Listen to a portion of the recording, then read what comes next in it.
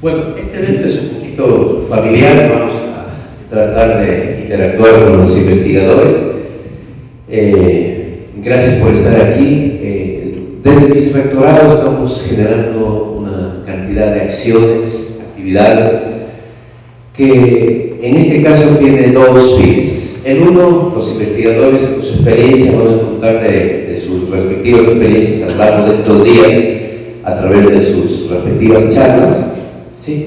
Pero la otra parte es el fin también muy importante por el cual les hemos pedido que nos apoyen con su venida acá, es a través de los talleres a los cuales están invitados todos ustedes, hemos invitado a los miembros del Consejo de Investigación, está la doctora Lorinela, muy bien por su eh, participación aquí. A, las 10 vamos a tener justamente un taller sobre el tema de la conformación de los institutos de investigación el día de ayer el Consejo de Investigación aprobamos en primera, realizamos en primera un reglamento de constitución, de construcción, digamos, de los institutos de investigación. Y estamos interesados en construir el sistema de investigación de aquí de la Escuela Politécnica Nacional. Ustedes saben que por primera vez aquí hay este vicerrectorado de investigación y previsión social nosotros queremos construir un edificio para largo plazo, no queremos hacer cosas solo para satisfacer expectativas de corto plazo o para satisfacer los lineamientos que nos está imponiendo el organismo regulador de la acreditación que se, hace, sino que queremos un sistema de investigación que permita articular todos los procesos de investigación y previsión social aquí en la Escuela Politécnica Nacional para que el sistema pueda permitir a los investigadores desarrollar las actividades de investigación de la mejor forma para contribuir a la misión de la Escuela Politécnica Nacional, que es mejorar la calidad de vida de la gente, de nuestra sociedad, cumplir la función como universidad, cierto?, con el entorno social. Y para eso nosotros estamos eh, justamente teniendo contactos con muchos, eh, con muchas personalidades que han tenido experiencia en distintas universidades del mundo. Hemos tenido conversaciones con gente de mucha experiencia en Brasil, tuvimos recién a un investigador, hemos conversado un poco, tenemos prevista otra, otras reuniones con gente experta en la cuestión de transparencia y tecnología. Ahora las personas que están aquí vamos a aprovecharles en estos talleres para sacar mucha información, poder interactuar con ellos, eh, ver eh, sus experiencias, sugerencias, consejos para la eh, para la construcción de los institutos de investigación, para el tema de transparencia de tecnología, para el tema, en la parte de transparencia de tecnología hemos ya sacado mucha información sobre la cuestión de construcción de, de incubadoras de empresas, estimó es un tema tan, tan importante, no solo para los profesores, sino para los estudiantes. Felicito aquí que estén grupos de estudiantes. Estamos trabajando también en temas eh, tenemos una agenda realmente bastante amplia, estamos trabajando con el vicerrector de docencia también para articular procesos de incorporación de los estudiantes en los proyectos de investigación, pero desde edades tempranas. Tenemos, sabemos, conocemos, yo he experimentado en mi vida, que la parte de los procesos de investigación no vienen de un momento a otro. Hay que desarrollar un proceso en los estudiantes y queremos incorporar procesos que permitan que los estudiantes desde el primer semestre se vayan un proyectos de investigación, para que cuando terminen su formación a nivel de, su egresamiento y luego su título ya tengan una, eh, desarrollado destrezas, habilidades para hacer investigación, pero más que nada hayan desarrollado una pasión por investigación.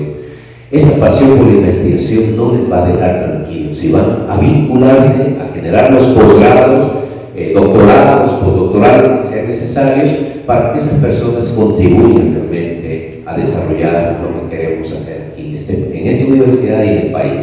Estamos trabajando en el tema de proyección social, estamos buscando alternativas. Esta universidad y en general las universidades del país no han tenido experiencia en el tema de proyección social. Estamos, yo estoy trabajando muchísimo en un tema que es el tema este de proyección social para buscar eh, otras personas más que se incorporen con nosotros, que tengan un poco de experiencia en estos temas de vinculación con el medio externo.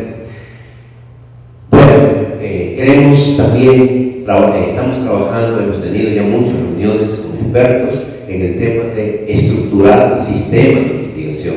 Entonces, eh, las necesidades que tiene este vicerrectorado son múltiples. Estamos incorporando investigadores con los cuales estamos trabajando en distintas temáticas.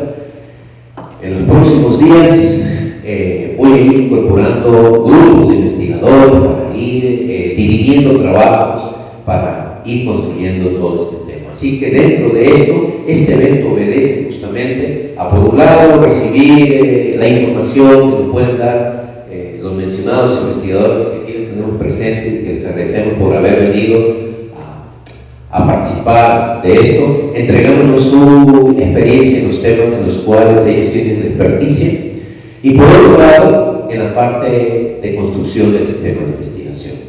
Muchas gracias a ustedes, bienvenidos y bienvenidos a ustedes a este evento y que podamos sacarle provecho. Muchas gracias.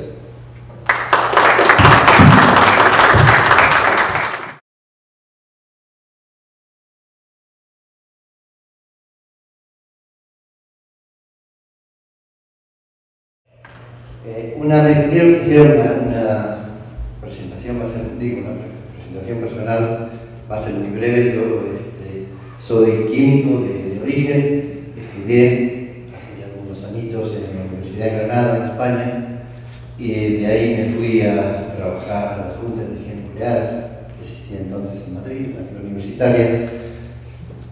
Esto es un poco personal, pero bueno, explica algunas cosas.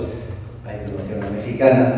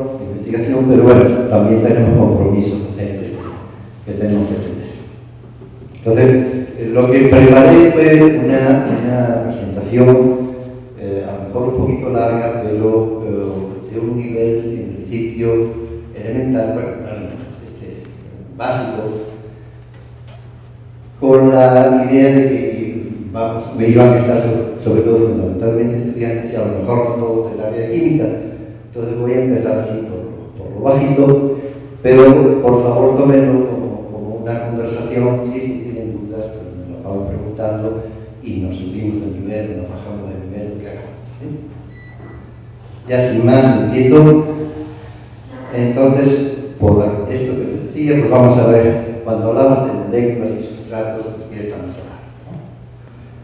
Eh, como molécula, bueno, pues el proceso sería muy sencillo, un conjunto finito de átomos que están enlazados por algún tipo de enlace, iónico componente, combinación entre ellos, y que tienen una composición fija, y eso abarca una gran eh, variedad de las moléculas muy sencillas, como los gases, dióxido de carbono que tenemos aquí, metano, etc., hasta proteínas muy complejas, y entonces bueno, pasamos por compuestos covalentes, compuestos de coordinación, moléculas, biomoléculas. El tema del mundo molecular, que es el mundo en el que normalmente se mueven los, químicos de veras. A veces los químicos del estado sólido estamos un poquito ese mundo, pero por eso nos dicen que se nos olvidó la química, pero bueno, de pronto regresamos ahí. Y, y entonces este, este es el, mundo en el que trabajan la, química, a fin de cuentas, no es más que un conjunto de interacciones moleculares. ¿Y qué le está pasando? Pero aquí me interesa marcar algunas cosas. Eh, hay dos conceptos importantes. Uno es la estabilidad molecular, que es un concepto más bien de tipo termodinámico, es decir, la entalpía, cuanto menor sea la entalpía, cuanto más negativa sea la entalpía de formación de un compuesto, más estable va a ser. Pero más que la estabilidad nos interesa la reactividad. Entonces, una molécula que sea muy estable puede tener eh, algunos puntos donde su reactividad se incremente, sobre todo si tiene enlaces polares, por ejemplo, si la polarizabilidad, es decir, la posibilidad de modificar la distribución de las nubes electrónicas o de los orbitales moleculares o de, los estados electrónicos de la molécula, si yo los puedo variar eh, cuando pongo frente a un campo eléctrico, electrostático externo o frente a de otras moléculas, si eso es, si esa polarizabilidad es alta, en principio la molécula va a ser más reactiva. También importa que es un poco lo mismo, todo gira alrededor de, las nubes, de los orbitales moleculares y de cómo están conformadas los electrones alrededor de los, de núcleos que forman la molécula.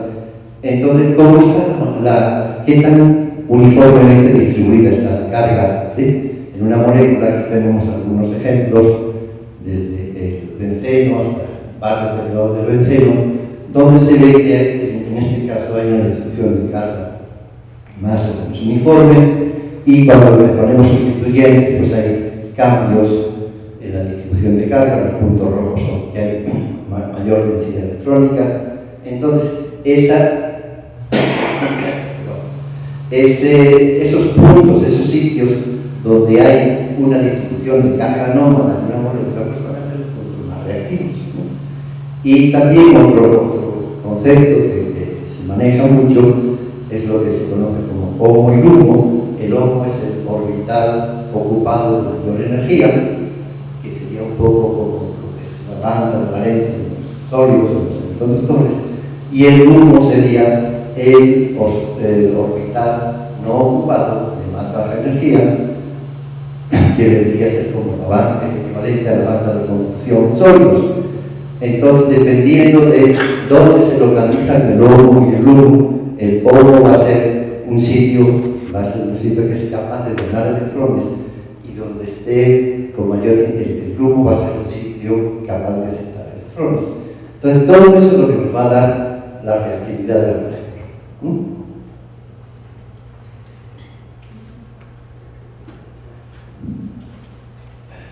Bueno, es un poco lo mismo, bueno, a fuerzas intermoleculares. Eso, eso es muy importante porque a partir de estas, de estas eh, anomalías en la distribución de carga de las moléculas, pues podemos tener fuerzas atractivas entre, las moléculas que son de enorme importancia.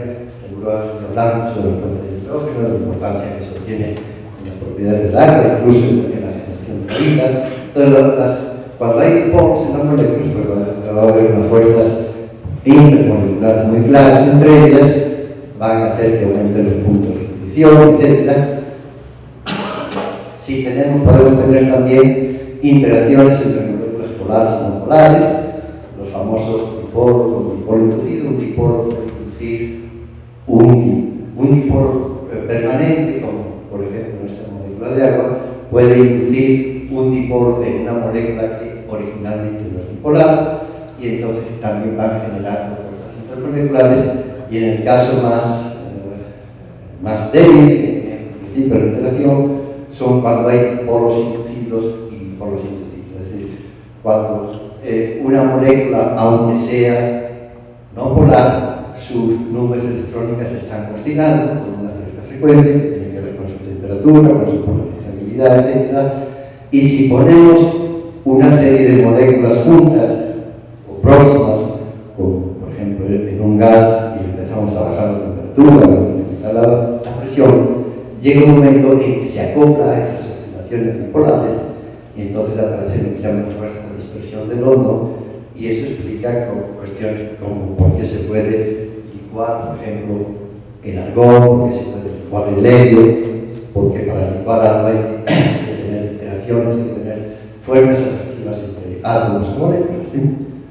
Ok, esos serían los, principios, es decir, la reactividad de una molécula, los puntos de reactividad, las fuerzas que puede haber entre, entre moléculas y bueno, esas, esas fuerzas intermoleculares nos llevan a conformar arreglos ultramoleculares como los autoensambles.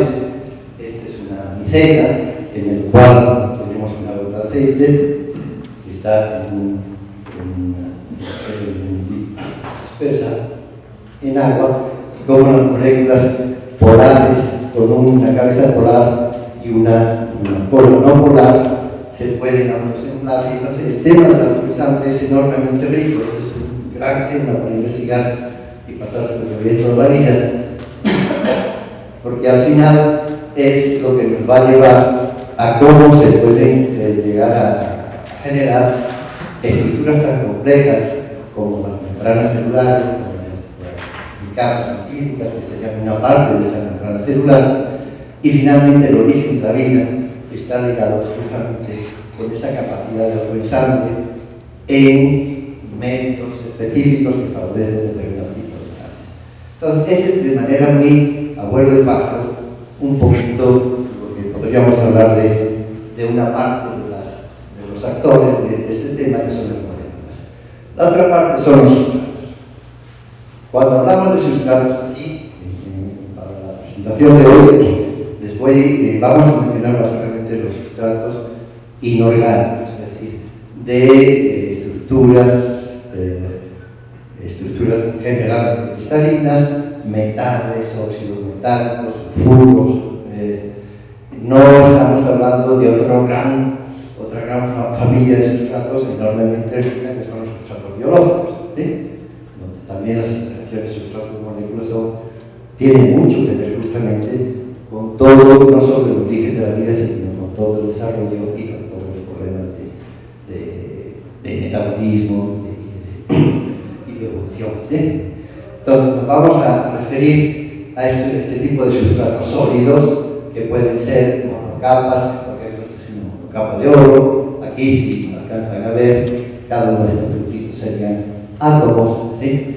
pero no los sustratos estos que idealmente aún se presentan como una serie de átomos muy ordenaditos y sin ningún defecto entre ellos, eso no es real. Lo real, lo que siempre existe, es una serie de defectos. Esto sería, por ejemplo, una dislocación, como los átomos se, se rearreglan, la distancia interatómica va a ser distinta en Entonces, a lo largo de esta dislocación vamos a tener la posibilidad de que haya unas reacciones más, va a ser un punto inestable dentro del sustrato, se pueden dar mejor las dislocaciones ahí, perdón, las reacciones. Aquí sería como una molécula orgánica se está fijando en el sustrato, esto es como se rearregla una superficie de, de óxido de silicio, ¿eh? más bien de silicio, perdón, porque luego hablaré el problema de los, compuestos ordenados eh, pueden generar muy, con mucho cuidado para que en el, interior del, material no haya defectos, pero en la superficie siempre vamos a encontrar un problema de baja coordinación que nos va a llevar a que el propio material se rearregle, pero a pesar de eso van a quedar enlaces sueltos, etcétera, que finalmente van a ser también puntos reactivos. Entonces, eh, podemos pensar en un sustrato así como un modelo muy, muy bien ordenadito. Esto sería una, una monocapa de plata, ¿no? una, en el plano, un corte de plano 1,0. Y estas cositas que se ven aquí son moléculas absorbidas. Esto es un modelo teórico, a partir de ahí se pueden hacer muchas cosas, pero el mundo real no es este. El mundo real son sustratos que tienen, tienen terrazas, tienen este, puntos donde faltan átomos, vacantes, y ahí es donde va a estar la riqueza para que se dé esa, esa, región. Y las cosas que pueden ocurrir en superficie están más o menos representadas aquí, moléculas que están eh, sus, eh, sitios de densidad de carga más alta, los están usando o se están usando para fijarse en algunos de los efectos puntuales o extendidos que pueda tener Sol. ¿Ok? Y ya para finalizar esta, parte introductoria, pues eh, dos conceptos también muy, muy básicos, pero que hay que poner en, eh, claramente. Uno el de fisisorción y otro el de quimisorción. Eh, cuando una molécula, como esta que estarían representadas acá, se va acercando a una superficie, puede, va a haber siempre una interacción. Y cuando esas fuerzas atractivas entre las moléculas y sustratos provienen de, esas, de esos dipolos oscilantes de tipo de dispersión del hondo o de interacciones de dipolares, de dipolo, dipolo reducido, dipolo permanente, eh, lo que tenemos es una fisisorción, es decir, la molécula se va a quedar fija sobre el sustrato, pero las energías atractivas son relativamente bajas, del orden de 20, 30 kJ sobre mol, y entonces se va a quedar, pero si yo caliento esta superficie y lo puedo regresar, sería un proceso reversible. Esta atracción solo aparece cuando las distancias son muy cortas, del orden de, las distancias atómicas, menores a un nanómetro generalmente, y puede darse básicamente cualquier tipo de sustrato. Es decir, es la atracción más eh, eh, débil que, pueden pensar, es lo que hace que cuando yo enfrío una superficie de lo que sea, se me pueda condensar de forma una capa continua de moléculas que no sean reactivas. Las, hay, hay bombas de vacío que funcionan con este principio, ¿no? que hay una, una absorción cuando uno calienta perdón, me enfría a temperaturas bajas, de nitrógeno líquido o inferiores, ese propio hecho de enfriamiento, por ejemplo, son ceolitas, eh, que son superficies muy porosas, entonces generan incluso un vacío que luego se puede, y luego cuando la, la ceolita se calienta se puede desgasificar, y entonces tenemos eh, una reversibilidad, no hay cambio en la, naturaleza química de la especie. Y las energías son relativamente bajas. Ese es una, uno de los tipos de interacciones. El otro tipo es justamente la, la que ya es una interacción fuerte. Las energías involucradas son del orden de 100 a 500 kJ sobre mol. Eso, si recuerdan, pues es del orden de las eh, energías de enlace entre los átomos. Y realmente lo que se da es pero aquí están como una, una molécula de amoníaco, se puede en principio fijar entre su par electrónico libre con una superficie de, este,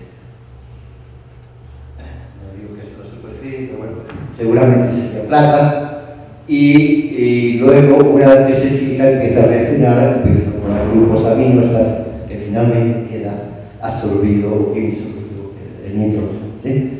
Eh, es una interacción fuerte entre el sustrato y el, y hay una reconfiguración, hay un cambio en todos esos estados electrónicos y lo que ocurre es que aparecen nuevos enlaces químicos, ya sean tipo iónico covalente, una cuestión intermedia entre ellos, según las especies que aparecen, y son procesos que vemos de oxidación, corrosión, vacilación, con múltiples aplicaciones unas deseadas como la oxidación, como la corrosión, pero bueno, ahí, es lo que se está dando. Entonces, esos son los dos grandes puntos, la fisisorción y la quimisorción. Por supuesto que entre ellos hay toda una graduación.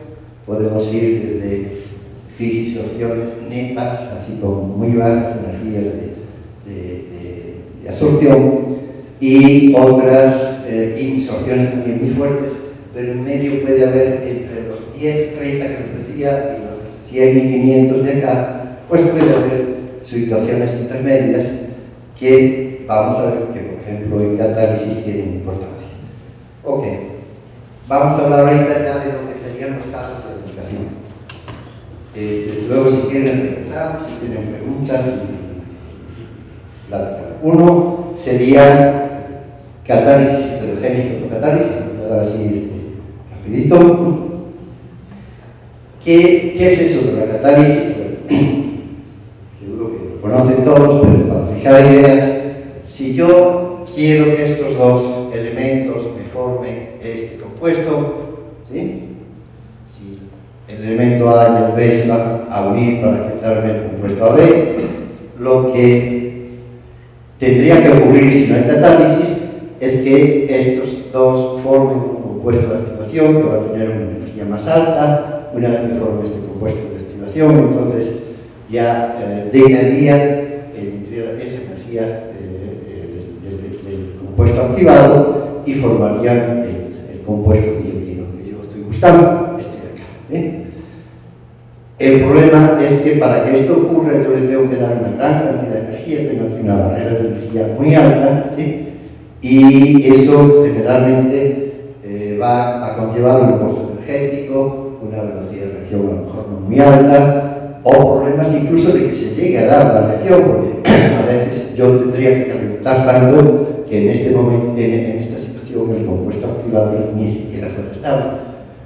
La manera de atacar eso es formar eh, un, utilizar un sólido, un soporte sobre el cual se absorban esas dos especies dos este, reactivos y al absorberse pierdan, eh, se debiliten los enlaces, como ahorita vamos a ver acá, y sea mucho más fácil la formación del compuesto y entonces el camino, en lugar de venirme por un nivel de energía, hasta un nivel de energía muy alto y luego de caer, me vengo por caminos de donde la absorción siempre va a haber una, una de energía en el momento en que se absorba luego ya que están absorbidos, van a necesitar un incremento de energía pero mucho menor para formar el estado activado y finalmente pues se van a disolver y. Ese es el, chiste de la, de la catálisis, o me voy por este camino que es altamente demandante de energía, o me voy por un camino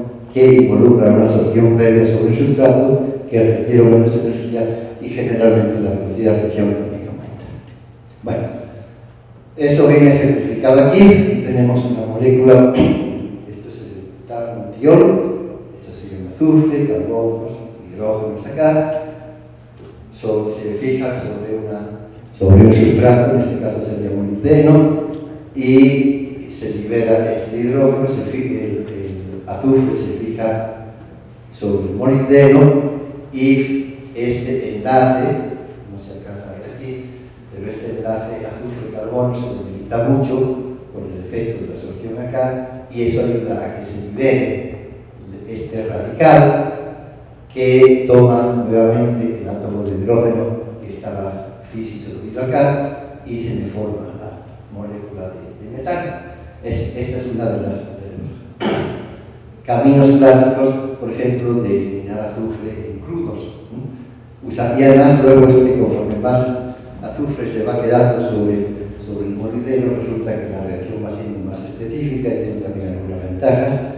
Otro, digamos, eh, otra manera muy sencilla de ejemplificar esto, esto sería monóxido de carbono, esto sería óxido de nitrógeno, eh, ambos son contaminantes fuertes. Si ven acá, lo que acaba, en términos de la reacción, es dióxido de carbono y nitrógeno. Esto es lo que se conoce como del monóxido de nitrógeno. A partir de una absorción en una superficie dada, eh, pasamos de tener dos compuestos altamente, altamente contaminantes a un compuesto menos contaminante, como es el dióxido de carbono, y el nitrógeno, que es un compuesto inerte. Estas son las etapas. Fíjense aquí, hay primero una etapa de difusión del gas hacia el sólido, una absorción como efecto de esa absorción se debilita el enlace nitrógeno-oxígeno entonces se rompe, esta molécula de nitrógeno oxígeno se rompe, el oxígeno queda absorbido sobre la superficie y cuando están en un sitio cercano al monóxido de carbono forma el dióxido de carbono y nos queda el nitrógeno. Viene una nueva molécula de, óxido de nitrógeno y otra molécula de CO, entonces vuelve, se repite el ciclo, vuelve a salir el dióxido de carbono acá, pero nos quedan dos átomos de nitrógeno que se van con una, con una molécula de nitrógeno. ¿eh? Entonces tenemos un proceso de difusión, de absorción, de reacción, de reacomodo dentro de la superficie y finalmente una dispersión.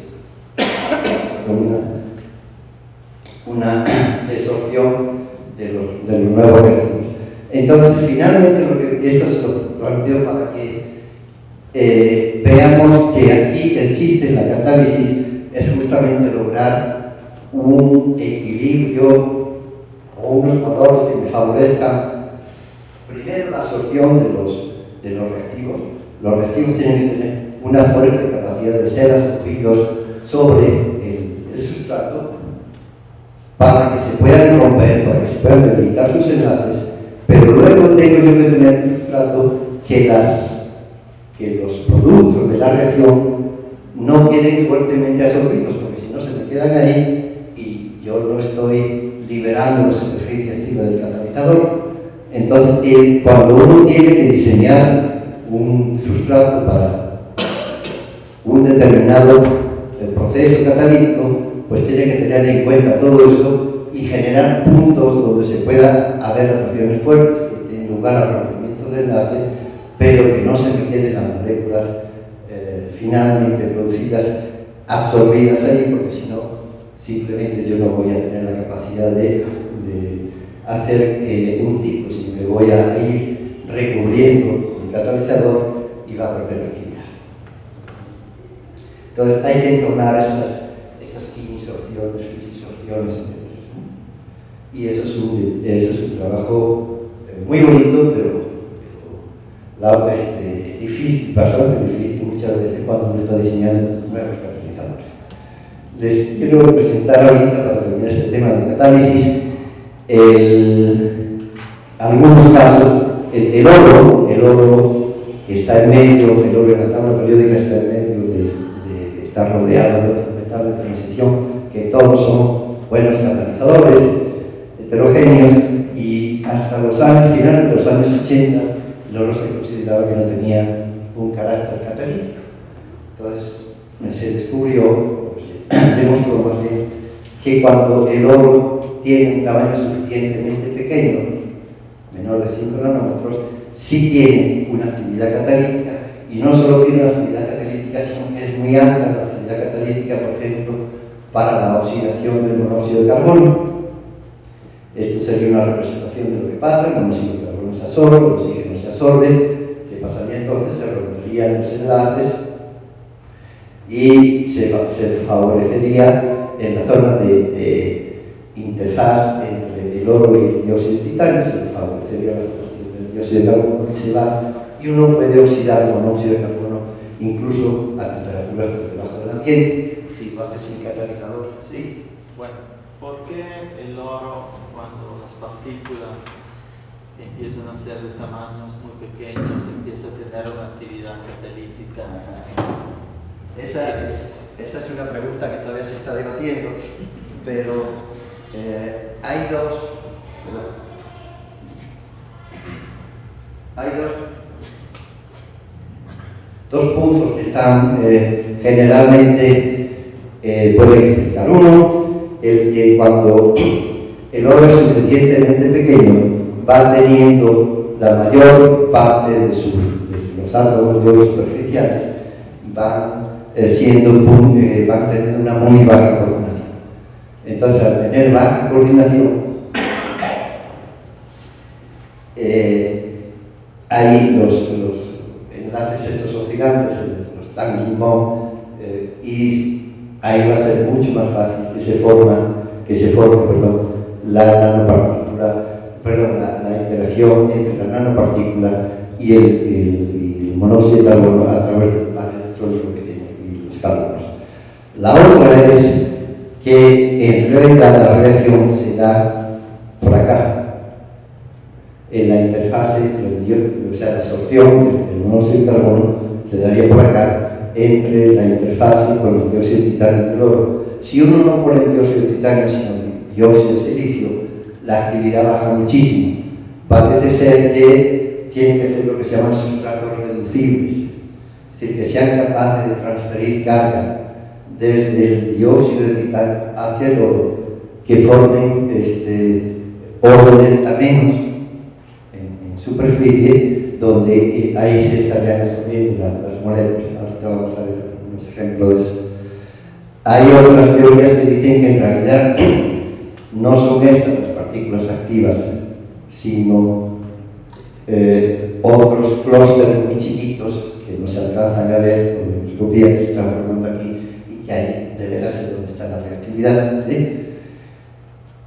Hay algunas eh, imágenes de microscopía electrónica de, transmisión, de alta resolución ambiental, donde se pone esto en presencia de un poquito de monóxido de carbono y de oxígeno, y lo que se ve es que hay una movilidad atómica por acá, acá se están formando las especies, el dióxido de titanio empieza a subir un poquito por, esta parte del oro y se forman ahí unos complejos que no se conocen todavía, pero parece que ya se dado la, la, razón. Entonces, es en términos más concretos, es el, el incremento de la energía superficial de oro unido a una transferencia de carga de dióxido de titanio al oro, lo que le da esa, esa, eh, ese, carácter catalítico. No solo para la oxidación de monóxido de carbono, sino en general para la oxidación de las ¿eh? ¿Sí? ¿Lo contesto más o menos? Sí. Bueno, ¿cómo? Algunas cosas que estamos haciendo. Esto lo trabajamos mucho en el grupo, Rodolfo Zanella, que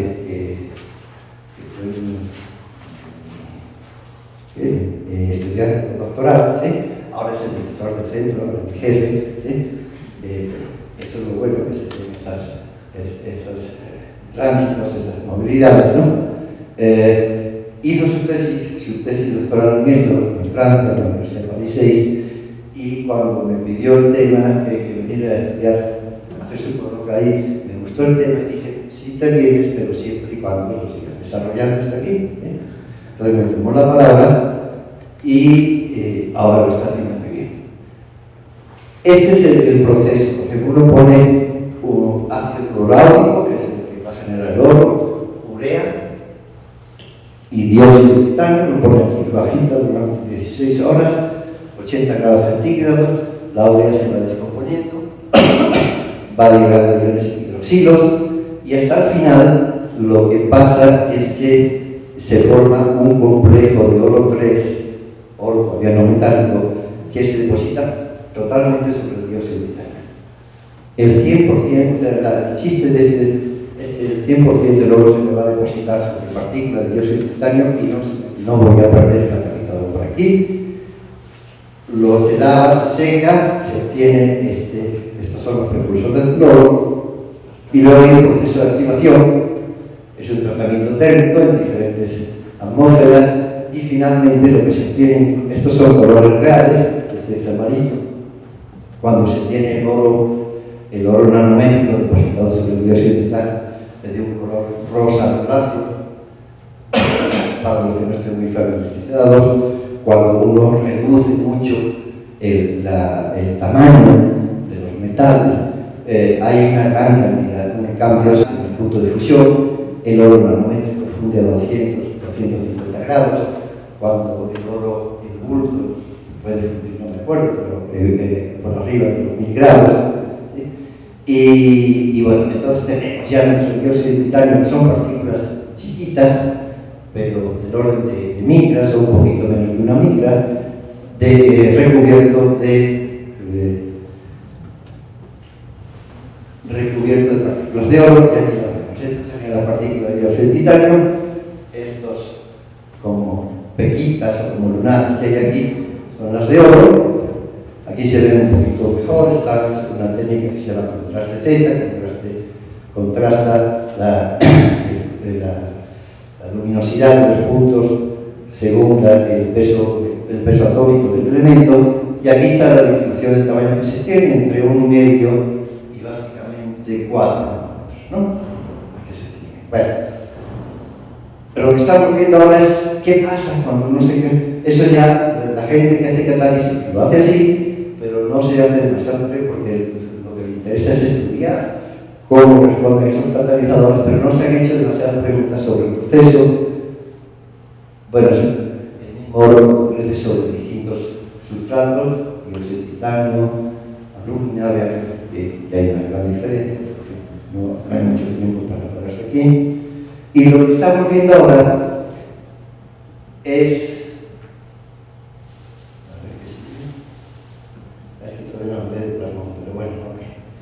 Lo que estamos viendo ahora es cómo, cómo qué ocurre cuando se le da el tratamiento térmico.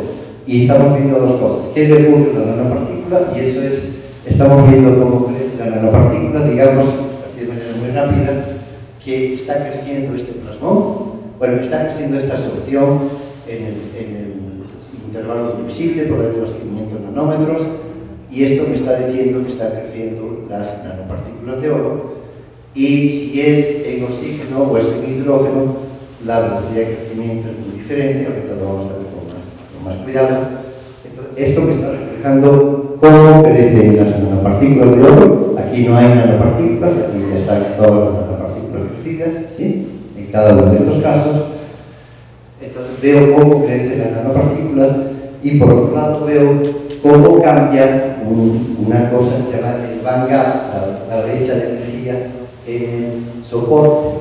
Aquí vemos cómo es la brecha de energía inicial, cómo es la brecha de energía final. ¿eh? Y Disculpe, está hablando de brecha en un, en un metal. No, no, no, perdón.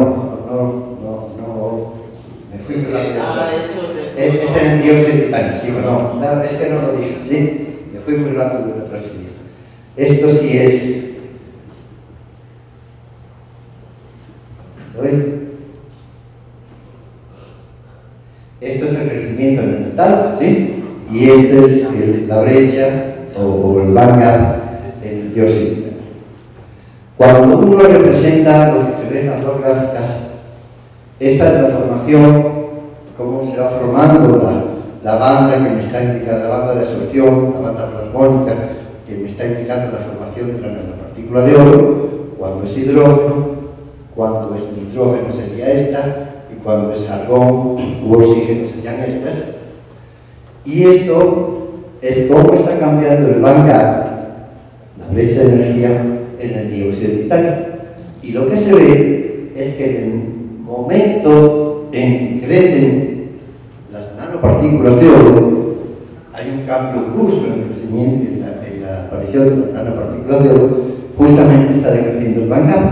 Y eso lo que me está indicando es que son procesos acoplados y que hay una transferencia de carga entre el sustrato y la nanopartícula. Eso ya ha sido predicho, pero esta es una demostración experimental de que se está desde su, unos resultados que ahorita, a ver cómo nos va. Y esto es bueno, ya se me formó la partícula de, oro. Y lo que voy a hacer ahorita es mandar lo que se llama una molécula sonda, nuevamente viene la interacción molécula, la molécula sustrato. Esa molécula sonda es un monóxido de carbono. Cuando el monóxido de carbono se me absorbe sobre una nanopartícula, el enlace carbono-oxígeno se debilita, ¿no? Ya lo vimos en la quimisorción, o la física, la química. Entonces, al debilitarse ese enlace carbono-oxígeno, los modos vibracionales las energías de vibración, todas las moléculas están siempre vibrando. ¿sí? Y esa energía, la energía con la que vibran, va a depender de la fuerza de enlace, de la constante de fuerza entre los átomos que están unidos y qué tanto se me va a debilitar va a depender de qué tan fuertemente se esté uniendo. Y entonces lo que vemos acá es esta banda cómo va evolucionando, cómo va subiendo con el tiempo, y es que el monóxido de carbono se está absorbiendo sobre puntos de oro con una un poquito de carga negativa, un exceso de carga negativa, se llama oro delta menos. Al principio se absorbe sobre el oro cero, luego la absorción sobre el, sitio de oro cero se va transformando en sitio de oro, oro delta menos 1, oro delta menos, perdón. Y entonces lo que estamos viendo también nuevamente es una transferencia de carga de la, ahora de la molécula absorbida hacia la nanopartícula. Y estos son los puntos, bueno, esto es CO2, que se está, este es el punto reacción, ¿sí? Entonces, bueno, o nuevamente estamos haciendo un seguimiento, esto es lo mismo, pero en lugar de ponerlo en un plano, ponerlo en, tres dimensiones, entonces, no sé si se alcanza a ver muy bien, pero no, no, bueno, a lo mejor se ve mejor. Esta, esta va creciendo, esta va creciendo, ¿sí? y se van formando nosotros. Entonces, ese es el tipo de, de, cosas que vamos viendo cómo ocurren y que a su vez nos va dando elementos para conocer mejor lo que, lo que está pasando y eso nos va daría elementos para luego diseñar catalizadores. ¿eh? Entonces, en general, ¿qué, es lo que hay que hacer en catalizador Bueno, si yo quiero diseñar un, catalizador mejor que lo que existe, tengo que hacer lo que decía ajustar esas fuerzas interactivas que me optimicen el proceso catalítico, cual pero puede llevar 10 años de trabajo y a lo mejor al final una gran porque no lo consigues o un gran éxito porque sí lo consigues. ¿eh? Eh, en el caso de los catalizadores de oro, todo está bien, funciona de maravilla, pero hay un gran problema, por eso nos están explotando industrialmente no son estables en el tiempo.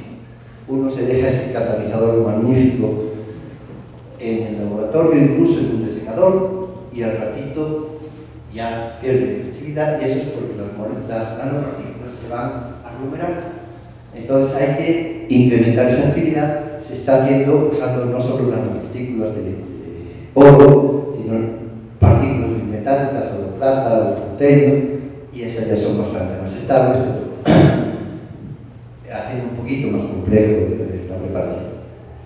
Y luego el otro, estamos tratando de hacer, es profundizar el conocimiento de los mecanismos involucrados en el crecimiento y depósito de las nanopartículas sobre los soportes, porque otra manera sería, por ejemplo, lograr un anclaje, vamos a llamarlo físico. Ahí, de manera que las nanopartículas se empiezan a formar donde hay vacantes de oxígeno, que hay electrones atrapados, el oro, el oro es el único metal que tiene una electroafinidad, o el metal que tiene una electroafinidad más. Entonces las semillas de esas nanopartículas, unos pocos clústeres, se van a ir hacia los, se van a fijar preferencialmente en esos, en esas vacantes de oxígeno, lugares donde hay electrones atrapados, son trampas de electrones, y entonces si uno genera esas trampas en el nano, perdón, en el sustrato, seguramente va a poder eh, fijar. Ok. Ya muy rápido, llevo 40 minutos. Solo una pregunta antes que cambie de, tema.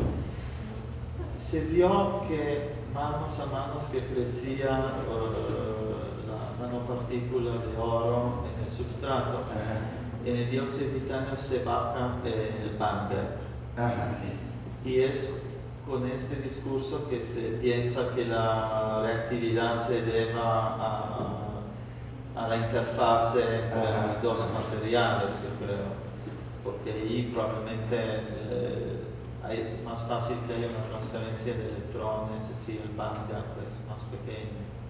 Efectivamente, sí, es la, justo en la interfase.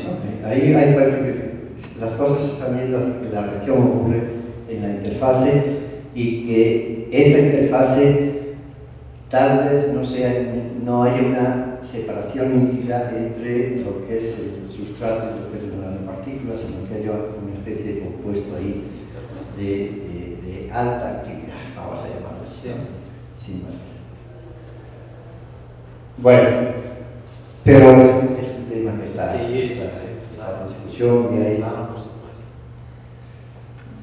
De esto yo ya casi no sé nada, pero el, mismo grupo lo, lo- lo estamos haciendo. Ahora es un tema, es un tema para mí enormemente interesante. Y es fotocatálisis. ¿eh? La fotocatálisis tiene dos agentes. Uno, un material semiconductor, otro, una fuente de luz. Aquí viene un foco, pero normalmente es lo ideal es que sea luz solar, puede ser una lámpara de xenón, puede ser una lámpara ultravioleta. Y me faltó aquí, pero bueno, imagínense que estos son, estos son unos niveles de energía, y tengo yo mi banda de valencia, y tengo yo mi banda de conducción, los electrones están de, este sistema, esto podría ser una partícula justamente de dióxido de titanio, de óxido de zinc, yo tengo mi banda de valencia básicamente ocupada y mi banda de conducción básicamente. Cuando le hago llegar una energía luminosa, un campo electromagnético en- con las energías o con las frecuencias eh, ópticas, es decir, luz, fin de cuentas, eh, con la adecuada energía, yo puedo hacer que un electrón de la banda de valencia pase a la banda de conducción. Y entonces genero lo que se llama un par electrón hueco. H menos, pero es H. ¿eh?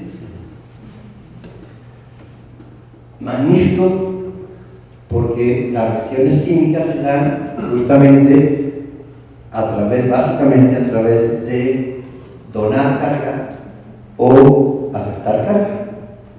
Entonces este electrón está aquí relativamente libre en la banda de, de valencia, en la banda de conducción, puede ser usado en reacciones de reducción. Si yo tengo un protón por aquí, puedo reducir a, ese hidrógeno más, hasta hidrógeno cero, y formar una molécula de hidrógeno. Pero este hueco que tengo aquí lo podríamos visualizar como una carga positiva como un defecto de carga negativa, que es lo que es, y esto es oxidante. Entonces yo tengo un par reductor oxidante. Con esto yo puedo oxidar, por ejemplo, puedo romper, en teoría, esto, esto, pero se está trabajando mucho en ello, puedo romper la molécula de agua mediante fotocatálisis y generar hidrógeno.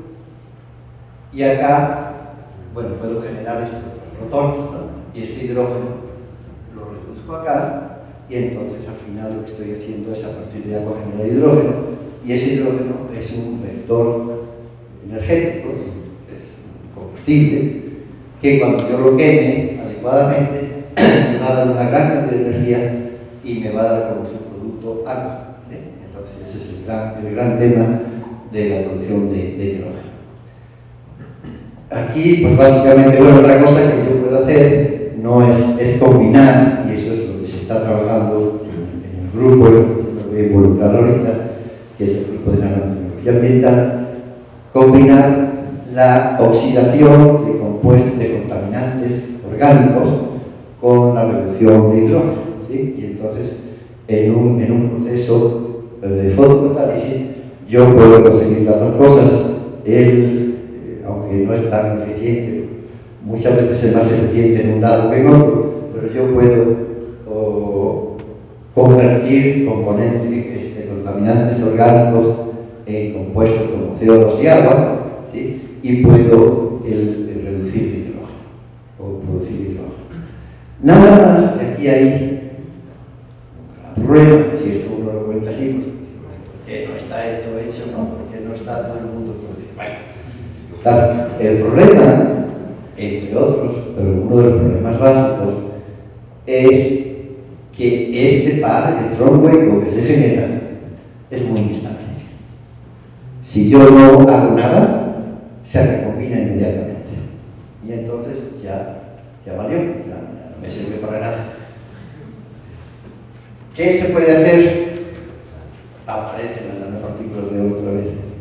Si yo pongo aquí nanopartículas que me atrapen este electrón, llego hasta la banda de, de- conducción, entonces ya voy a dejar atrapado el electrón aquí y voy a reducir a evitarlas, pero sí a reducir las posibilidades de recombinación.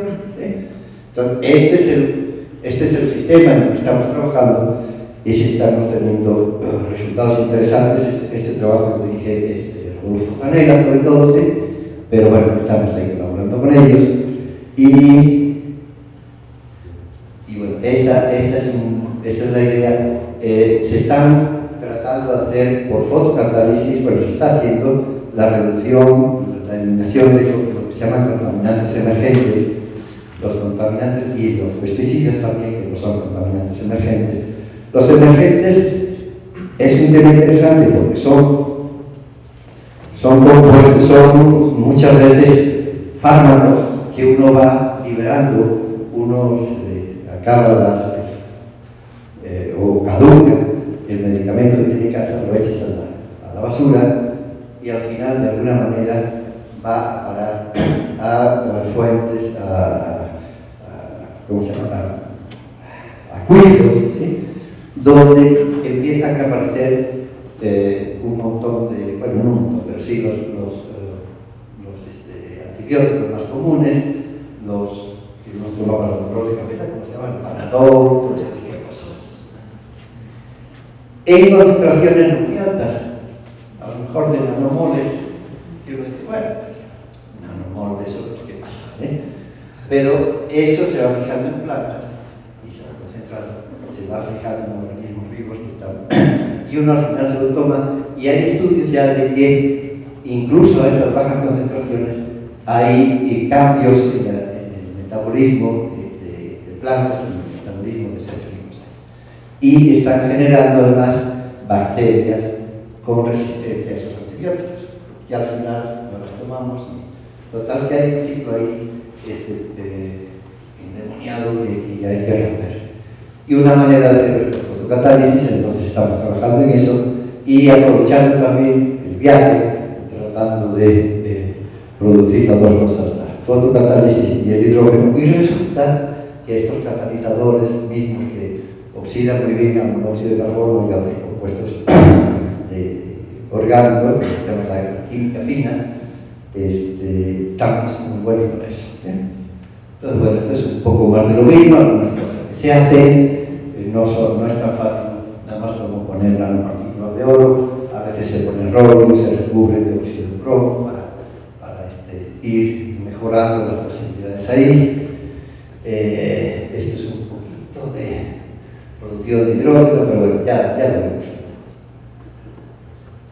Lo que hay que cuidar ahí, bueno, modificar eh, las el, problema del dióxido de titanio es que todo esto se produce con luz ultravioleta, porque su ganga es de 3.2 electronvolts, si no recuerdo mal, mal, y eso cae dentro de las energías del ultravioleta y, entonces habría que hacer eh, modificar justamente ese ganga para que no solo se active con luz ultravioleta, sino también con visible, y esa es una de las líneas de investigación.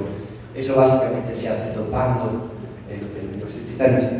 ¿Hay una relación entre el Vanguard con el tamaño de esa partícula? Sí. ¿Cómo está esa relación? ¿Cómo está la relación? ¿De, si ¿Cómo cambia? No te lo puedo responder con toda seguridad, pero creo que sí está, según yo, decrece con el tamaño de. El problema de... se podría se podría este, eh, bajar el tamaño de partículas de titanio. Normalmente se está empleando un dióxido de titanio que produce de USA, que se llama el B25, que es una, una mezcla de, las dos, de las dos principales este, fases que tiene, ¿no? la, la rutilo y la tasa. El problema de si uno lo hace más chiquito es que de todas maneras le tienen que poner la nanopartícula ¿sí? para que eh, tengas el centro de, de, para romper los electrones, para evitar la recombinación, y entonces se hace más difícil. Disminuye, pero no, y no, de una manera tan sensible como para que merezca ser. Y, y, luego este, este de usar, que no es el mejor en términos, en términos físico-químicos, pero es muy barato y y se regalan los sacos, ¿no? Entonces, Anatase, sí, ¿Es entonces... o? Perdón, tiene, tiene las dos, tiene como bases. 75% de rutilo y 25% de nataza, o al revés, ya no acuerdo bien. Pero tienes una mezcla de las dos bases. Y la otra, pues bueno, reducir esa posibilidad de recuperación de los paros astronómicos. Ahí es donde está el, gran tema y desde luego es una, es- el punto de vista ambiental y desde el punto de vista energético, es, un- es una gran promesa. Yo me acuerdo que yo leí, la primera vez que leí esto, ¿Y no ha pensado también de orientarse a otros semiconductores que tengan una brecha más cerca al visible? Eh, sí, sí, yo, yo estoy proponiendo justa- justamente eso. Ahí un poquito lo que tengo enfrente es la inercia del grupo que ha trabajado siempre en el pero- titanio y me dice, oye, pues el de titanio está funcionando muy bien y yo ya me lo sé, así me meto en otro, pero un poco va, va en ese sí. Eh, a veces lo que pasa es que a lo mejor si uno le baja la brecha es bueno para, para la eh, reducción, pero no tanto para la oxidación o viceversa, ¿no? Y entonces, hay unas gráficas que seguro conocen, ¿no? De cómo están los bandas para. Bueno, otro, otro tema. Este lo estamos empezando a hacer gracias a otro de los postdoc tiene, tiene sus ventajas. Son sensores químicos de gases.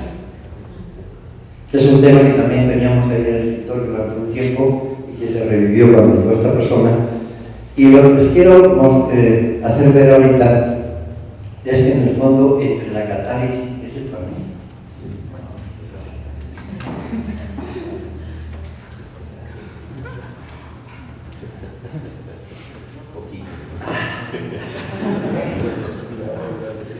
Ok.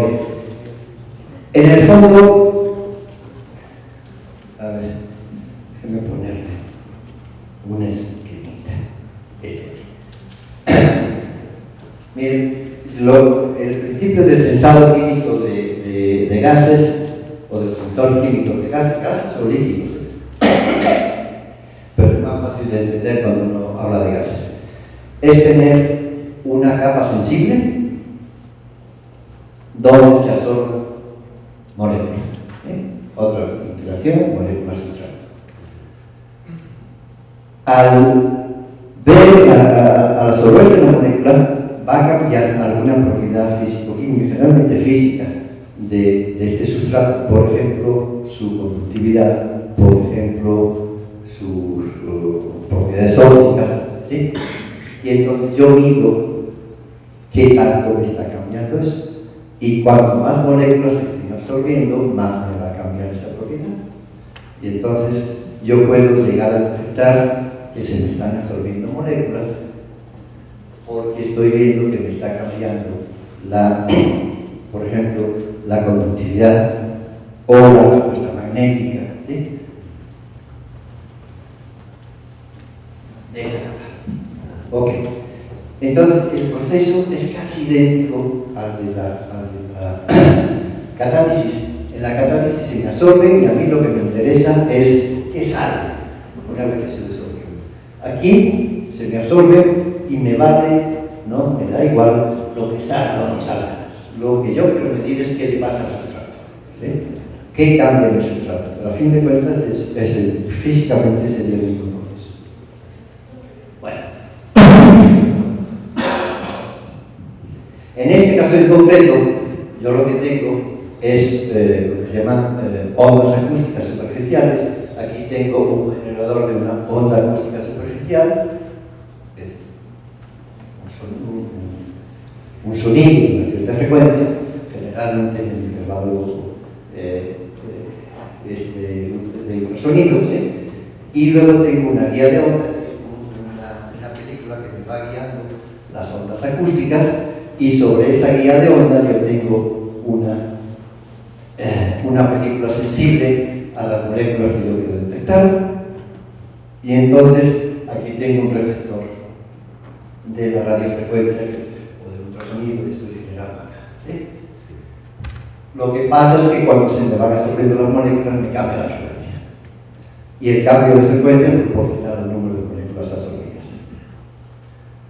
Otra opción es eh, usar con cantilevers o cantilevers, que están vibrando y cuando se me van depositando las, las moléculas ahí, la frecuencia de oscilación cambia y entonces son sensores más la masa. ¿Ok? Bueno, entonces creo que ya se lo dije aquí. El concepto de esto es el analito, se absorbe sobre el activo sensible, la solución genera un cambio en propiedades físico-químicas y la intensidad del cambio se relaciona con la concentración. Las semejanzas y diferencias entre el proceso de análisis sensado y otra vez son los equilibrios entre los procesos de y disorción, porque yo tengo, se me tienen que absorber, pero luego lo que yo hago es mandar un gas inerte que no, que no contenga estas moléculas para que me barra y me libere, me libere esto y yo pueda volver a sensar. ¿sí? Básicamente, una, un cartoncito ahí de, de, esto pues sería, este es el arreglo, yo tengo aquí un gas de arrastre que puede ser aire mejor que sea un gas inerte. Aquí tengo la muestra, sensores de flujo, hago mis mezclas de, la muestra con el gas de arrastre, aquí tengo el sensor, la señal del sensor la puedo llevar vía Wi-Fi o, o, o inalámbrica, a una, o la puedo llevar vía alámbrica, en este caso inalámbrica, a, un computador, a una computadora donde estoy registrando cosas como esta. Entonces yo tengo una señal de inicio, por ejemplo, que soplo, estoy echando CO2, estoy echando humedad, ¿eh? y me cambia, en este caso sería la frecuencia, dejo, dejo de, mandarme eh, la muestra y mando simplemente el gas de arrastre y recupero la señal inicial. Ese es el proceso. La manera de hacerlo, lo que estamos trabajando ahorita es con un, un material que se llama el granate de, de granate de oro y de iridio, que es un, es un compuesto eh, ferromagnético, no sé si es ferro ferro, no me acuerdo bien. Y entonces cuando uno le pone eh, eso como, como elemento sensor una capa sensible encima, que puede ser las partículas de, de, de ferritas, de materiales magnéticos, y se empieza a absorber algo, cambia mucho el campo magnético. Bueno, cambia un poco el campo magnético, pero tenemos como detectar cambio muy sensible, de manera muy sensible, y entonces estamos haciendo un nuevo tipo de sensor, en, porque no, no se ve empleado el cambio en, en la respuesta magnética del. Pero básicamente sería, sería lo mismo, y lo que les quiero mostrar acá, acá el, problema de esto no, aquí. El problema es que cuando yo hago esto, no solo hay muy poca selectividad del sensor. Cualquier cosa que se absorbe me hace un cambio de frecuencia y yo no sé si estoy absorbiendo agua, amoníaco, este, no sé, eh, cualquier, cualquier vapor. Se han hecho, eh, estos detectores se han hecho para, por ejemplo, detectar los explosivos, este, gasolina, todo este tipo de cosas. Pero hay muchos, hay muchos esta, gases que se absorben. Siempre que tengan grupos aminos, grupos carboxilos, grupos, este, eh, eh, no digamos que tiene y cosas estas, alcoholes se, se absorben aromáticos incluso, aunque no estén sustituidos por fuerzas absorben. Pero la manera de, empezar a resolver ese tema es no poner un sensor, sino un arreglo de sensores con distintas capas sensibles. Entonces todos se van a absorber, todos, si yo tengo una mezcla de gases seguramente todos se me absorben, pero no todos se me absorben por igual en cada sensor. Entonces, esto es un ejemplo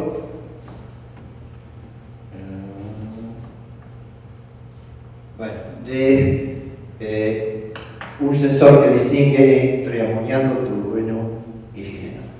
¿sí? Lo que hay son 1, 2, 3, 6 sensores diferentes, hay capas sensibles diferentes, entonces el amonio o el amoníaco, este me da esta respuesta en cada uno de estos sensores. Aquí hay un cambio de frecuencia, aquí hay un incremento de frecuencias, aquí hay un decremento de frecuencias.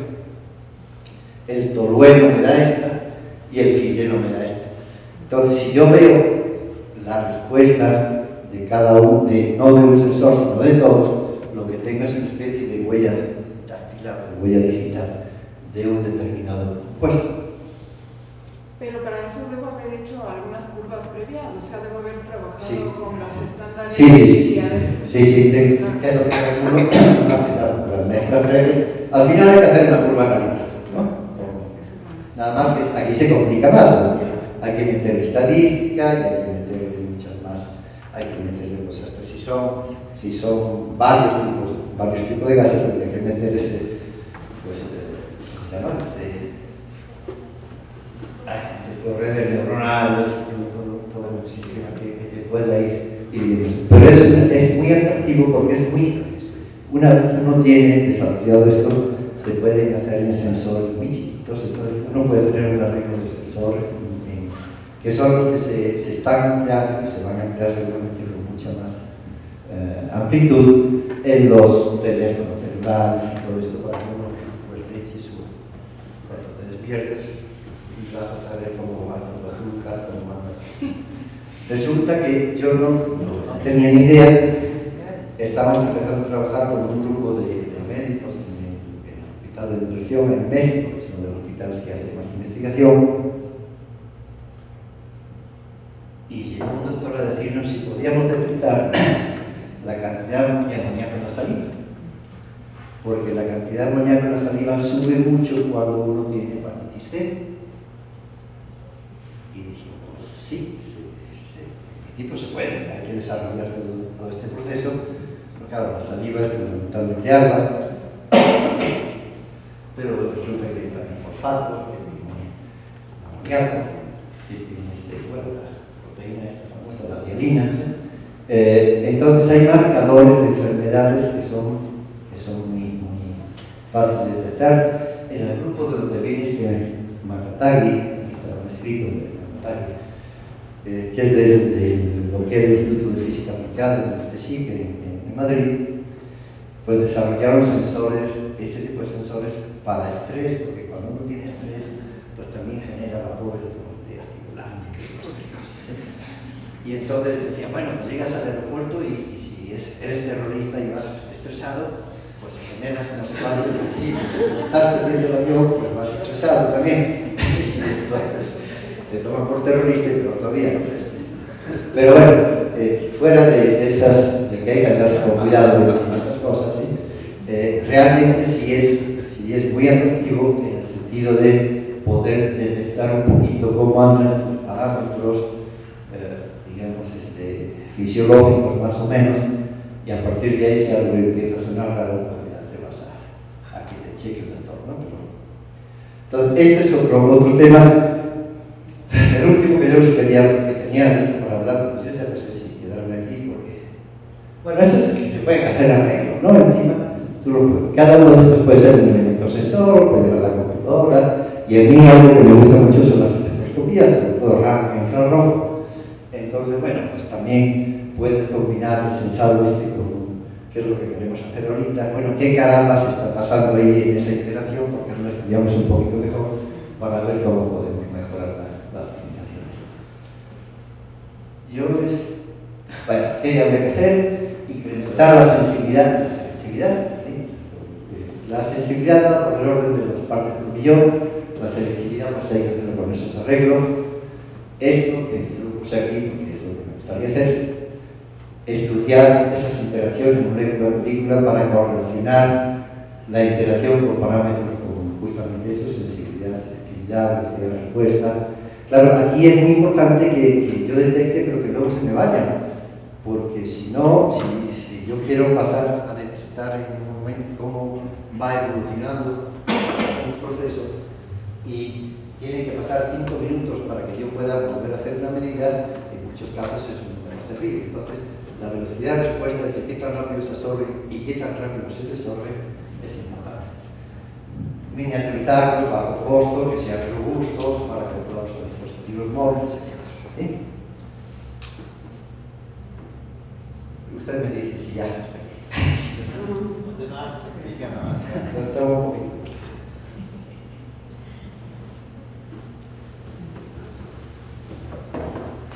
Otro tema, que ese también es muy interesante.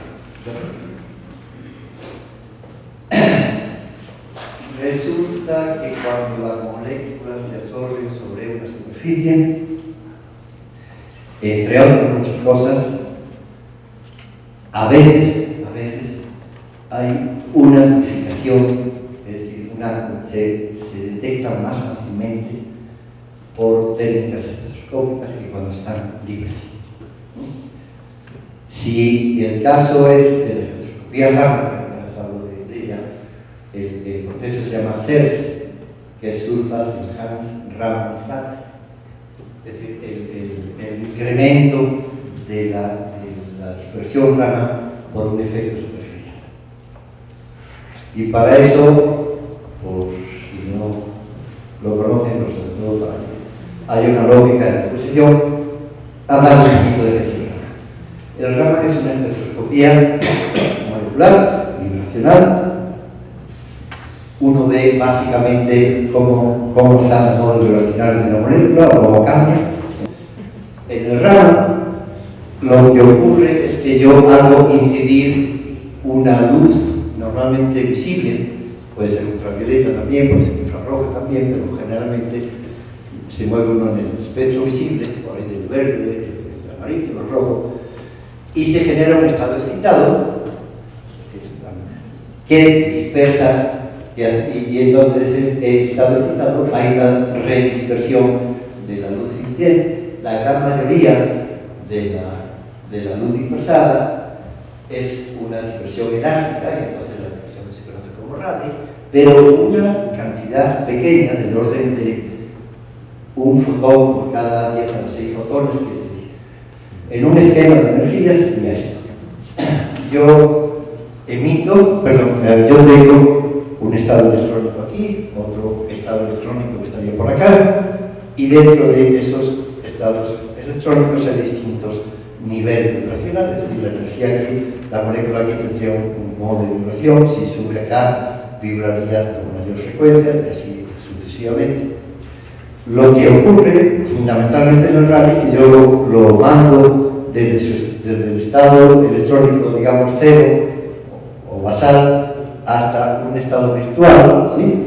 Es decir, excito, formo esa especie, y luego cuando decae, decae a la misma situación vibracional en la que está. Eso es la expresión Rayleigh y eso tiene muchas aplicaciones, pero para esto no me sirve nada. Sin embargo, hay una posibilidad de que de, si excito en este estado vibracional llegue al mismo estado virtual, pero cuando decaiga, no decaiga al estado vibracional de origen, sino al inmediato superior. Y entonces va a haber una diferencia de energía entre la luz incidente y la, dispersada que va a ser justamente el nivel vibracional que estoy citando. Entonces me va a dar información vibracional o si esa es la reacción Stowe, si está no en el nivel vibracional 0 sino en el 1, pues puede subir al virtual y quedar el 0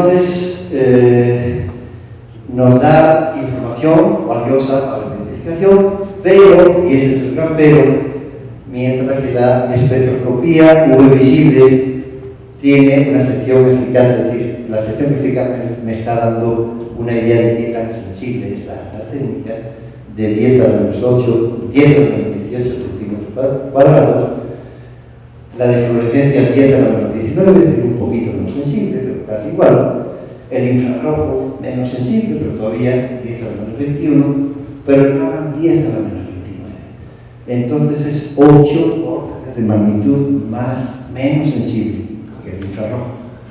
Con lo cual, si yo no tengo unas, eh, una concentración relativamente fuerte de moléculas en, en, lo que yo quiero analizar, pues no voy a ver por Además, otro, otro gran problema del Raman es que me puede producir una cosa que se llama fluorescencia, y la fluorescencia es mucho más intensa que, la dispersión Raman, y entonces la señal Raman se me queda escondida entre una banda inmensa de fluorescencia y tampoco lo veo. Y en esos, en esos casos, pues la situación se vuelve muy frustrante. Y volvemos a la Ahorita les he explicado lo que les había dicho antes, los modos superficiales. Cuando yo tengo una nanopartícula de un metal, sobre todo metales nobles, sobre todo oro, sobre todo plata, oro, cobre, a veces el aluminio también produce un poquito. Y tengo un tamaño adecuado, el tamaño adecuado es menor que la longitud de onda de la luz incidente, es decir, generalmente menor de 100 nanómetros. Y yo voy a coincidir la, luz. Entonces hay un, la luz, a fin de cuentas, es un campo electromagnético, es un dipolo gigante. Entonces, pues lo que va a, originar eso es que los electrones libres que están en la superficie de la nanopartícula se acoplen y empiecen a vibrar de manera resonante con la luz que yo, les, mando. ¿sí? Y eso ocurre a una frecuencia específica. En el caso de, los, de la planta son como 430 nanómetros, en el caso del oro son como 500 nanómetros. Y, o sea, cuando yo, básicamente es luz verde, ¿eh? luz verde un poquito en la plata, un poquito hacia el azul. Entonces, yo lo que genero es eso, una, una oscilación de esos electrones en la, en la nanopartícula. ¿sí? Si yo tengo unos electrones que citan en una nanopartícula, lo que tengo es una fuente de un campo electromagnético. Es decir, estoy, cada nanopartícula se va a convertir además en una fuente emisora del campo electromagnético que está acoplado con, la intensidad láser que está llegando. Entonces ya se imaginan lo que puede estar pasando. Cuando... Bueno, no, quiero adelantar mis. Eso es lo que es el plasma. Si, si lo entienden, si me expliqué, pues ahí lo dejo y si no me preguntan. ¿Sí? ¿Quién produce esos plasmones? Se decía la plata, este es una cosa que se llama factor de calidad, es decir, la mejor, el mejor metal para producir esos plasmones es la plata, le seguiría el oro, el cobre, y esta es la energía de los fotones que dan lugar a, esa, a, la formación de ese. ¿sí? Eh, bueno, eso es lo del factor típico de aplicación, es... Resulta que, si yo tengo una partícula esférica, por ejemplo, en el caso de plata, la frecuencia en la que se da ese plasmón está aquí, pero si le voy cambiando y en lugar de tener partículas este, esféricas con cubos o con esta forma, me va cambiando la frecuencia en que se da el plasmón. Entonces yo puedo no solo usar un láser verde, sino usar casi cualquier láser, o si yo tengo un conjunto de partículas con distintos tamaños, puedo tener casi un continuo de absorción, no solo con luz láser, sino también con luz de, otras fuentes.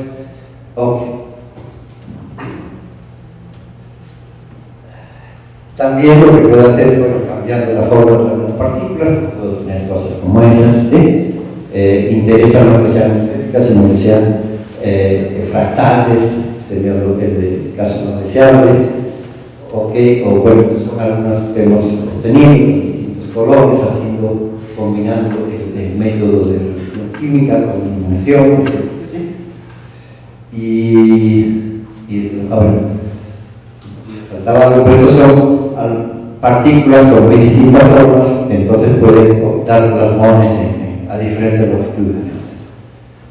Dicho, ah, eh, es.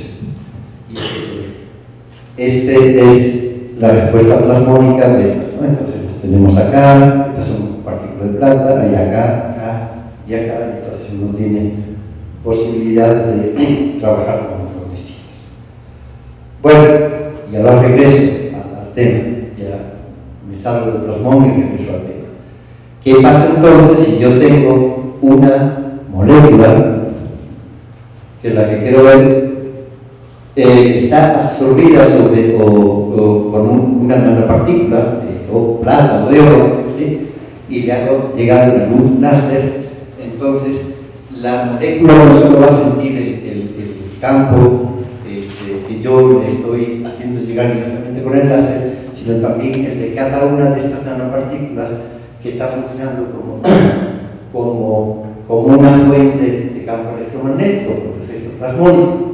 Entonces, el campo, la, intensidad de campo que va a recibir la nanopartícula es mucho más, perdón, la molécula subida sobre la nanopartícula va a recibir una intensidad de campo mucho más fuerte y la dispersión Raman, que antes era mucho más débil la Rayleigh, empieza a ser más fuerte. No, no tan intensa como la Rayleigh, pero llega a ser bastante más fuerte. De manera que cuando uno tiene las condiciones ideales, y ese es el problema, alcanzar las condiciones ideales, puede llegar a detectar fentomones de algo y hay artículos, todavía hay artículos que dicen que están detectando una molécula individual.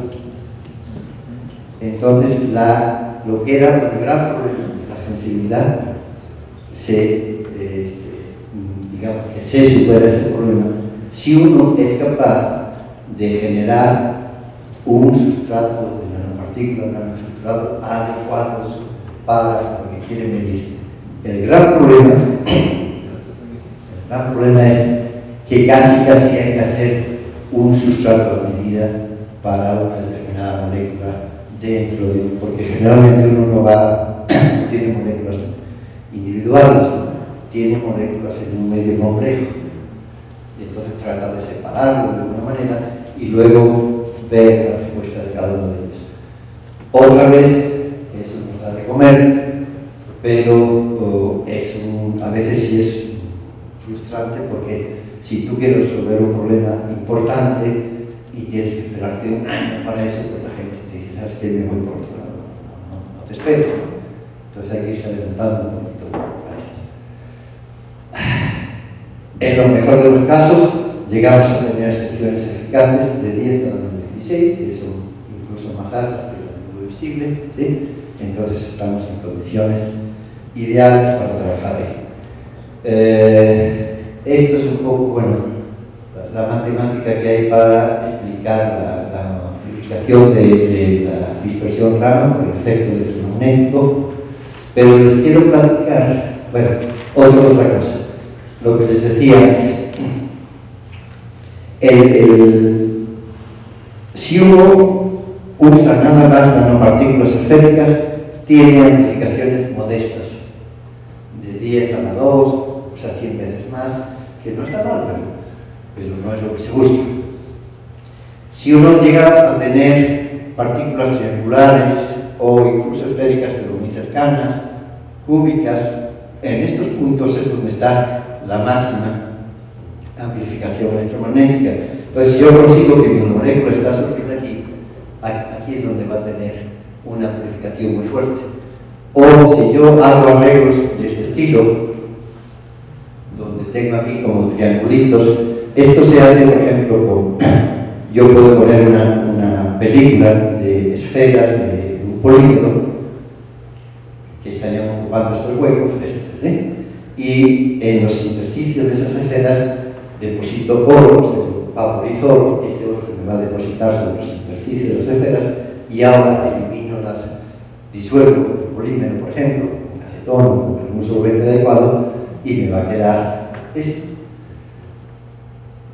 Y a veces estas distancias están, son, muy, son muy cortas. Entonces, si yo consigo que eh, tener una molécula absorbida entre estos dos puntos del triángulo, voy a tener lo que se llama un ahí la, la va a ser muy alta. La molécula que se me absorbe acá, sí, va a haber una pequeña amplificación, pero mucho menor que aquí. Y entonces lo que hay que trabajar es en sistemas donde las nanopartículas estén organizadas de tal manera que haya el máximo de estos puntos. Porque claro, si yo solo moléculas aquí, pues esto va a ser azar. Unas se me van a absorber acá, otras por acá, pero las que deberían me van a quedar la amplificación son estas. No todas, es decir, no todas van a, tener la misma amplificación superficial. Esto es algo similar, pero esto es lo que se llama el TERS. Eh, uno puede tener una molécula absorbida sobre una superficie y no tener nanopartículas aquí, pero sí aproximar la punta de un microscopio estilo fuerza atómica o, de tunelaje y que sea de oro o de plata. Y entonces cuando se aproxima sobre esta molécula estoy en unas condiciones muy similares a estas. Y entonces lo que puedo hacer es tener una imagen rama de eh, una molécula con una amplificación muy fuerte sensibilidad y además con una, puedo ver cómo está su distribución espacial, porque puedo combinar las imágenes de fuerza atómica o de con otras. Pero además de ese mecanismo electromagnético hay un mecanismo químico, porque la, la molécula, este es el que yo tenía que haber quitado, pero ya no pero bueno, lo dejo la molécula que se absorbe sobre, la superficie cambia, si hay una absorción, si dijimos que cambian los estados electrónicos, si cambian los estados electrónicos puede cambiar la, la polarizabilidad de la molécula. Y entonces cuanto más polarizable sea la molécula, más fácilmente la detecto por ramo y en casos favorables este efecto de amplificación química que es más modesto, más modesto que otro, como 10 a la 2, se eh, suman, pero hay una, hay una cuestión interesante y es que la, el, el, espectro gamma de la molécula absorbida va a ser diferente al espectro gamma de la molécula libre. Y además va a ser más intenso en alguna Este es el de la molécula libre, este es molécula absorbida. Entonces, lo que veo, por ejemplo, es que esta banda que me da la molécula libre no está en la molécula absorbida. Eso me está diciendo que ese modo vibracional está cambiando seguramente su simetría y lo más probable, yo puedo inducir, eh, es que se me esté absorbiendo la molécula por un grupo funcional que era el que me estaba dando esta banda y esta banda le estoy inhibiendo una vez que se absorbió. Entonces, el efecto de amplificación química me está dando información, me está dando no solo información más con mayor sensibilidad, sino me está dando una información de cómo está siendo la interacción. Entonces, combinando todo eso, pues uno puede llegar a hacer cosas, cosas interesantes. Ya, para terminar, una cosa que hicimos con un grupo de, que hace modelado computacional es estudiar la integración de, de un aminoácido muy sencillo, el más sencillo de todo, la glicina, con clúster de plata. Clúster de plata porque el grupo no tenía la capacidad de generar una particular completa de hacer un estudio computacional y entonces lo que vimos es que eh, además este sistema puede sacar los espectros teóricos raros. Y lo que vimos es que en ciertos casos, cuando el clúster tenía, era neutro, una carga cero, y la glicina, la glicina estaba a un pH de alto, de 9.8, eh, quedaba cargada negativamente. ¿eh? Entonces las interacciones entre estos clústeres, y más aún cuando el clúster estaba con carga positiva, eran muy fuertes. Aquí están 46 kilocalorías por mol, que bueno, son como 100, ¿no? más o menos como 100 eh, kilojoules por mol, es ya una interacción fuerte, aquí es todavía más fuerte, entonces esto ya sí son absorciones y nos aparecían bandas nuevas en el espectro, como este, y Y lo que pudimos, bueno, pudimos, lo que pudieron ellos, yo muy contento, pero, pero el trabajo que hicieron la gente de cómputo, pues es ver justamente cómo estas bandas nuevas que nos aparecían tenían que ver con las con modos vibracionales específicos, esta es la, molécula glicina, estos son los, los grupos del, del ion carboxilo, acá interaccionando con estos dos átomos de plata, ¿sí? eso nos daba esta banda, y este, este otro modo de oscilación nos estaba dando la, también nuevamente es, un, es el grupo carboxilo, la interacción más fuerte del, ion carboxilato, pero vean el modo de cómo está vibrando esta, esta molécula de glicina y cómo está vibrando esta, son diferentes, ¿no? Los, modos de vibración son diferentes, entonces esto. Entonces, esta es una herramienta que, sumada a todo lo computacional, pues da una, una, capacidad de predicción bastante interesante. Y lo, lo que nos gustó a todos fue que justamente ya habíamos hecho esto, pero no se lo habíamos enseñado a los teóricos, y es que nosotros vimos experimentalmente que para la medicina pH10 la amplificación sí se da, esto es, esto es, es a pH ácido, esto es la nanopartícula solita, aquí es, una transmisión coloquial de nanopartícula de plata, pH ácido, pH neutro y pH básico. Y entonces el pH básico, cuando la medicina tiene carga, eh, está por arriba del, segundo pK, tiene carga negativa, es cuando se da la amplificación de las bandas y es justamente lo que vimos también con, con la situación. Aquí los puntos a trabajar son todos, porque en realidad el, proceso de amplificación de señales no está demasiado bien y sobre todo eso de los hotspots y cómo, cómo funciona, también es un punto, porque esto se explica esas ecuaciones que yo les enseñé antes, pues son de la electrodinámica clásica, pero cuando uno habla de hotspots ya hay que a la cuántica y la situación se complica. Estudiar las profundidades de esas situaciones ayudaría y hay que mejorar sobre todo la, metodología de fabricar sustratos. Hay que saber fabricar sustratos que sean reproducibles, porque si no, otra vez es muy frustrante que al estudiante le salga y se lo das a otro estudiante o lo quieres hacer tú y no te sale. ¿Por qué? Pues porque no, no, no, uno no tiene el control. Finalmente es un proceso bastante estocástico, casi casi este, caótico eso, ¿no? pero de pronto sale. Las conclusiones ya generales, bueno, la, la importancia de las interacciones moléculas-sustrato, yo les puse tres casos, pero seguramente cualquiera de ustedes podría poner diez más, ¿sí? porque están alrededor de, de todo la, la, físico-química y de toda la química. Y, y, finalmente estas dos cosas. ¿no? Uno, yo, yo trabajo en un centro que se llama Centro de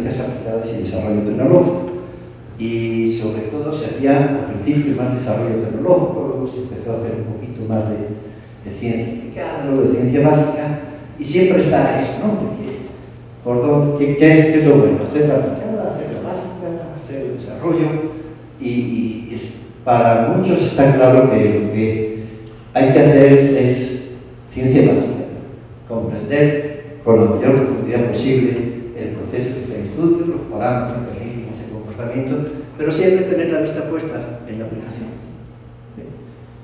Y si yo puedo mejorar el desempeño de un sistema con una aplicación específica, si yo sé puedo mejorar el desempeño del sistema con una aplicación específica, modificando el físico-químico que define ese comportamiento y entonces ya lo puedo hacer. Porque si yo tengo un material que, que ya cumple las funciones que, digamos, quiere el cliente, no hay, hay cosa que hacer, pero si me están pidiendo que, y es lo que siempre se está pidiendo en, ciencia, que mejore las especificaciones de lo que ya tenemos, entonces hay que, hay que saber qué herramientas tiene uno para poder modificar para, para bien esas, esas propiedades y eso solo puede salir de acá.